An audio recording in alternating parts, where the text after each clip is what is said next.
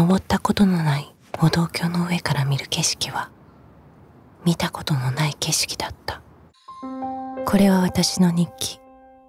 誰が読むわけでも自分で読み返すわけでもない。ただの日記。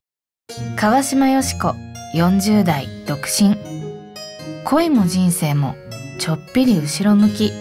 母親の後ろ姿に似た人の後ろに並ぶのが好き。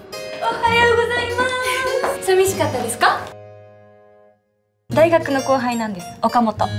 あんたのせいで先輩とご飯食べる時間なくなったんだからね。お疲れ様です。呆れるぐらい簡単に人を好きになってしまう。白黒がちだった日常にちょっと色がついてきた気がする。同じ色。気が合うじゃん。携帯。震えて常に何かを探って探って。お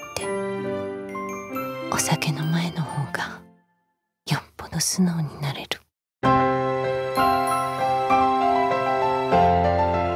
ワイン飲んでるよしこさん見るの好きなんです。日記そう。これは日記。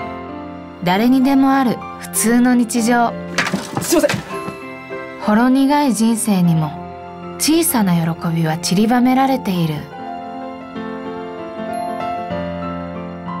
甘いお酒でうがい